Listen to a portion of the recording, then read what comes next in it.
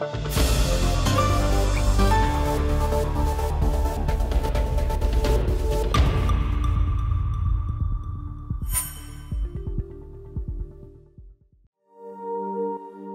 Erieye EMB 145 had force system delivered in 2008 to the Hellenic Air Force and is used for sea and air surveillance, which has a detection range of up to 400 kilometers at the moment. It carries out missions such as uh, hostile target detection, it has uh, search and rescue capabilities at sea, surface, and it's extensively linked to the other systems of the armed forces in Greece.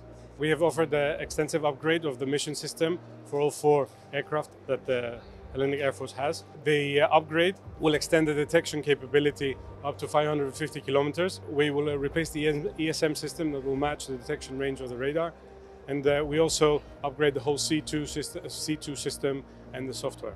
Saab has an extensive history of uh, local cooperations in all customer countries. In Greece, with the upgrade, we're offering extensive partnerships with local companies, including the, the installation of the mission system onto the upgrade of the Erieye and also incorporating systems from Greek companies into our mission system capabilities.